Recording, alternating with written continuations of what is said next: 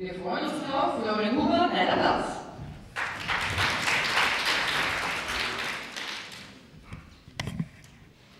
Sehr geehrte Damen, sehr geehrte Herren, liebe Mitstreiter, liebe Jury.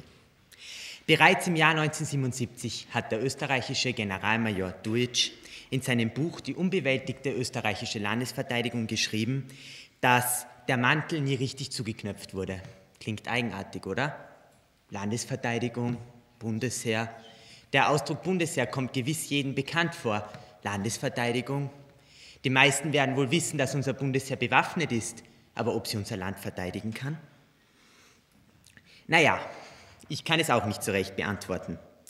Jedoch hat damals dieser Generalmajor eben gemeint, dass es zwar einen Mantel gegeben hat, um es symbolhaft darzustellen, und dieser Mantel wurde nie richtig zugeknöpft.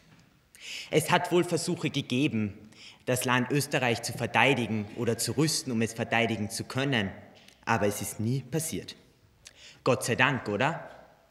Gott sei Dank musste das Land Österreich nie verteidigt werden. Ich bin glücklich darüber. Wir leben im Frieden. Wir haben zwar ein Bundesheer, das uns verteidigen kann, aber wir werden es nicht benötigen. Stimmt das? Brauchen wir das Bundesheer nicht? Ich denke nur an die vielen Auslandseinsätze, in denen das österreichische Bundesheer beteiligt ist, um den Frieden auch in anderen EU-Ländern oder auch im internationalen Raum zu sichern. Jetzt stellt sich die Frage, wie wir auf das Bundesheer eingehen. Wie leben wir mit dem Bundesheer? Diskutieren wir über das Bundesheer?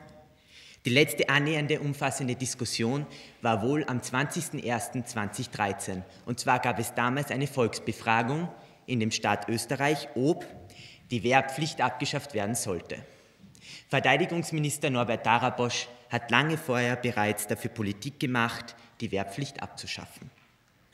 Wieso?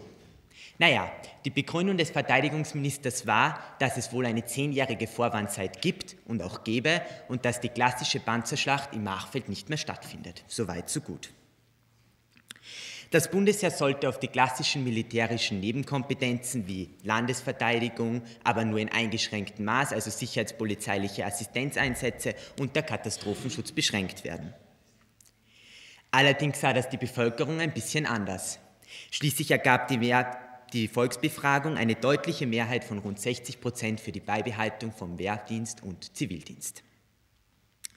Schließlich versprach der Verteidigungsminister, dass, wenn man die Wehrpflicht schon beibehalten müsse, sie wenigstens attraktiver werden solle, denn die Bevölkerung hätte nichts davon. Er versprach sehr viel. Es sollte auch der Sport besser gestärkt werden, die Soldaten sollten bessere Mittel bekommen und sie sollten sich auf ihre Hobbys beschränken können. Wie sieht es knapp nach drei Jahren und zwei Verteidigungsminister später aus? Wurden diese Versprechungen gehalten? Ist der Wehrdienst attraktiver? Hat das Bundesheer mehr Geld? Also in budgetärer Hinsicht nicht viel. Denn im Zuge der Wirtschaftskrise, Stichwort Griechenlandhilfe, wurde wieder mal am österreichischen Bundesheer gespart. Ein rigoroses Sparpaket wurde beschlossen und das ohnehin schon unterdotierte Landesverteidigungsbudget wurde abgeschnitten und erneut gekappt. Schließlich bewegte es sich auf einen Anteil von 0,55 Prozent des Bruttoinlandsproduktes hin. Statt einem Anteil von 1 Prozent, dies wurde von allen politischen Parteien am Beginn gefordert, jedoch nicht durchgesetzt. Dies war im Jahr 2010. Bereits drei Jahre später sah es anders aus. Und jetzt erneut, im Jahr 2016, setzte ein Umdenken ein. Denn am 13.04., es ist noch nicht lange her, trat Verteidigungsminister Doskozil vor die Presse zusammen mit Bundeskanzler Wermann Feimann und gab bekannt, ich zitiere, das Budget des Bundesheeres befindet sich in der Zielgeraden und angesichts von anhaltender Flüchtlingskrise Samt ausweitenden Grenzschutz und neuen Terrorgefahren soll es bis 2020 zwischen einer und 1,3 Milliarden Euro mehr geben. Dies hätte Finanzminister Hans-Jörg Schelling dem österreichischen Bundesheer und auch dem Kanzler zugesichert. Reicht das Geld? Reicht das Geld? Ein ganz und klares Nein. Denn damit wurden gerade mal ausgeglichen, was im Zuge der vielen Sparreformen, die in Österreich seit der Abschaffung der Neutralität und dem EU-Beitritt, wo, wobei man natürlich bestätigen muss, dass wir offiziell nach wie vor neutral sind, ausgeglichen wird. Denn im Heer fehlen jährlich zwei Millionen Euro. Jährlich. Dieses Geld, was aber dem Minister gegeben wird, ist für vier Jahre. Vier Jahre. Und jetzt kann man sich ausrechnen, wer gut im Kopf rechnen ist, dass das nicht reichen kann. Also sollen wir das Bundesheer ganz abschaffen? Wäre das eine Lösung? Brauchen wir so etwas überhaupt in der heutigen Zeit? Für mich eine berechtigte Frage. Allerdings muss man sagen, komme, dass die allgemeine sicherheitspolitische Situation kritischer denn je ist. Diese hat sich im Verlaufe des vergangenen Jahres massiv verschlechtert. Syrien-Krise, Griechenland, Flüchtlinge, Terrorgefahr. Auch der Bürgerkrieg in Syrien, den ich bereits am Beginn erwähnt habe, ist nach wie vor ein wichtiges innenpolitisches und außenpolitisches Thema. 2011, mit dem beinahe Zusammenbruch des Regimes, trat Syrien, ein kleiner Staat, allerdings sehr wichtig für die internationale Politik, immer mehr in den innenpolitischen und europäischen Gesamteindruck. Die Bevölkerung wollte putschen, wollte eine Demokratie schaffen. Der Minister Assad oder der Präsident, wie man es auch nennen will, wehrte sich dagegen mit militärischen Mitteln. Und als er fast gestürzt war, fast, es fehlte nicht mehr viel, griff Russland ein. Russland, ein treuer Verbündeter von Assad, Putin setzte mit militärischen Mitteln schließlich durch, dass Assad wieder die Oberhand gewann und kämpfte auch gegen den Neuaufstieg des IS an. Auch die Amerikaner, die Briten, die Franzosen und auch die Deutschen sind mit gewissen Kontingenten in Syrien vorhanden, allerdings nur, um die IS zu bekämpfen. Also ist das wohl ein syrischer Weltkrieg, oder? Die ganze Welt hat Interessen in so einem verhältnismäßig kleinen Land wie Syrien. Die ganze Welt. Viel näher allerdings ist der Krieg in der Ostukraine. Und dies ist nach wie vor in den Hintergrund geraten. Nur um zum Vergleich. Lemberg und Wien liegen näher beieinander als Vorarlberg und Wien. Ich glaube, das konnte sich keiner vorstellen, aber es ist tatsächlich so. Die Stadt in der Ukraine in der es politische Unruhen gibt, in der die Menschenrechte mit Füßen getreten werden, in denen Krieg an der Tagesordnung steht, Angst, Gefahr, Flucht, liegt näher beieinander als ein österreichisches Bundesland von der Landeshauptstadt? Interessant, oder? Allerdings müsste die entscheidende Frage der nächsten Zukunft sein, wie sich die Migration auf die europäische Innen- und auch Außenpolitik richten wird. Welche Auswirkungen hat der Flüchtlingsstrom? Hinzuweisen ist darauf, dass die massiven Wanderungsbewegungen in den letzten eineinhalb Jahren dazu geführt haben, dass in Österreich sowohl die Polizei als auch das Bundesheer an den Rand ihrer Kapazitäten gelangt ist.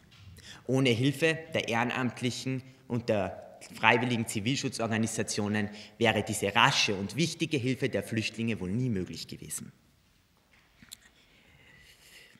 Außerdem stellt die Ankunft von 100.000 Personen im Jahr Österreich natürlich auch eine innensicherheitspolitische Situation und Gefahr dar. Ich möchte jetzt nicht sagen, dass die Flüchtlinge für Österreich gefährlich sind, denn ich glaube, dass dies nicht der Fall ist.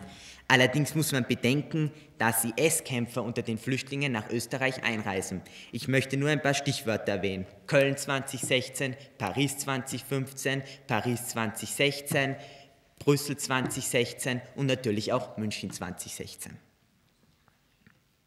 Also der Feuerbogen, der rund um Europa gebildet wurde, hat längst schon seine Feuer innerhalb von Österreich gezündet und auch innerhalb von Europa gezündet. Denn glaubt nicht, dass die, dass die Terrorgefahr in Österreich längst ausgestanden ist. Demgegenüber scheinen diese Entwicklungen noch nicht ausreichend in das Interesse der Bevölkerung gelangt zu sein. Denn sowohl Polizei als auch das österreichische Bundesheer stehen, wie ich vorhin bereits erwähnt habe, am Rande ihrer Kapazitäten. Und dies kommt in der Bevölkerung kaum an. Kaum, österreichische, kaum ein österreichisches Medien schreibt darüber, dass dem Bundesheer nach wie vor Geld fehlt, dass die Polizei keine Ressourcen hat. Ja, und was tun wir damit? Eigentlich nichts. Auch die Warnung des Landesfeuerwehrverbandes, dass das Bundesheer im Katastrophenfall nicht zur Verfügung stehen würde, wurde nicht gehört. Jetzt allerdings noch einmal die Frage, brauchen wir das Bundesheer? Ich möchte diese Frage, Frage klipp und klar beantworten, ja.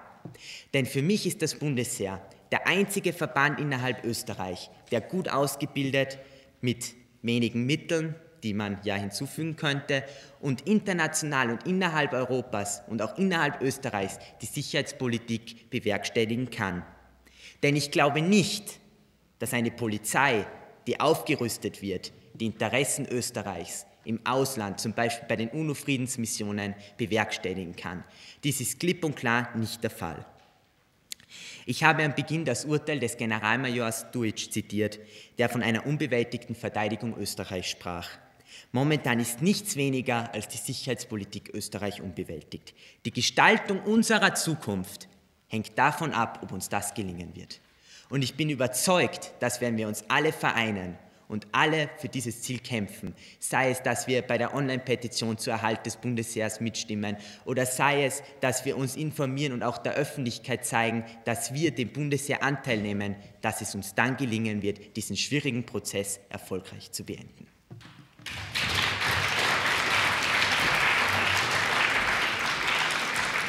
Herzlichen Dank, Florian Huber.